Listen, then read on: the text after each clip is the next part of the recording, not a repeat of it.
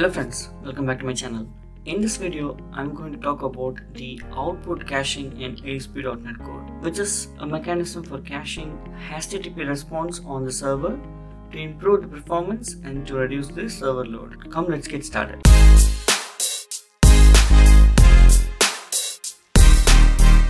So type of caching. First of all, ASP.NET Core provides various caching options including the in-memory cache and the distributed cache. So what is in-memory cache?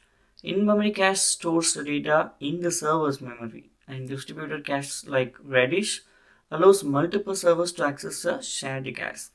Now here is the beautiful things for ASP.NET Core 7. Output caching is something that is introduced in ASP.NET Core 7 as a server-side caching mechanism. So what it does is it caches the HTTP response generated by the server and it is not dependent on client side cache header.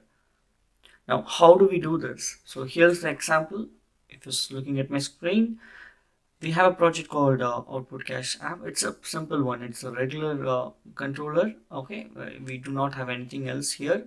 The only thing that I have introduced is a delay of one second so we know whether it is going inside this or not going inside this Alright, so everything else is now if you look at the program.cs, we have a very simple logic. So under the builder.service, you can add something called add output cache. This is available and it will be applicable only when you have the .NET 7.0 as a framework it's not available before this version. Enabling the output cache is done through the middleware, like how you see in the middleware pipelines, right? So the first request, what will happen is to any of the endpoint is handled as usual. It always goes to the endpoint. However, the subsequent requests will be returning a cached response without executing the server logic. So that will eventually reduce the server load. Okay, so that's the idea. So now we can also do one thing like, you know, uh, basically instead of just having the add output cache you can pass the options. So output caching provides option to control how cached response is stored and retrieved. So in this case we are saying the expiration is set to the 20 seconds. Alright so now if you come all the way through down all what you have to do is in the middleware you need to enable app.output cache. That's it. And then you can also do more things like you know for the controllers you can map this cache output. Here also you can pass the option and there are many options here. For example by default our endpoint will be like this right? So the endpoint that we have.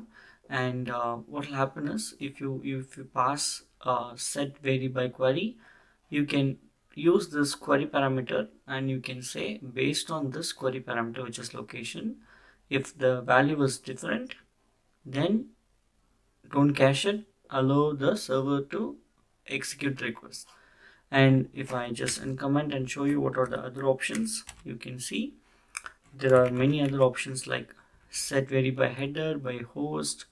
Alright the query is the one that we used vary by route value. So we have different output caching. So fine. So now it's time for demo. So now let's just run this and I'll show you how it works.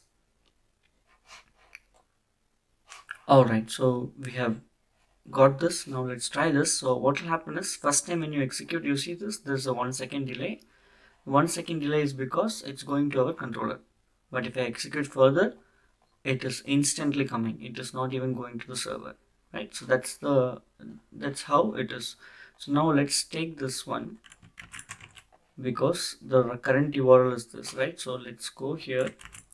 And if I paste like this it takes at least one second if I refresh see it's instantly coming. But if I change this to let's say a different letter now it took one second. If I refresh it's instantly coming. So basically now the mechanism that we used is vary by query based on the location parameter. So based on that also it is executed. So this is what uh, the output caching is.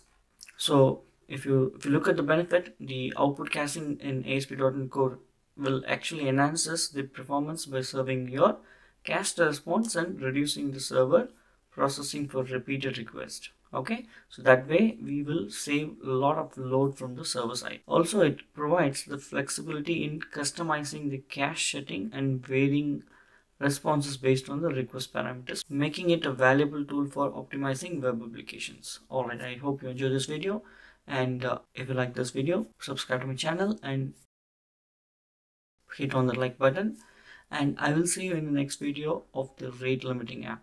Thanks for watching. If you found this video helpful, please give it a thumbs up and subscribe to our channel for more tech tutorials. And don't forget to hit the bell icon to get notified when we post new videos. If you have any questions or suggestions, leave them in the comments below. Happy coding!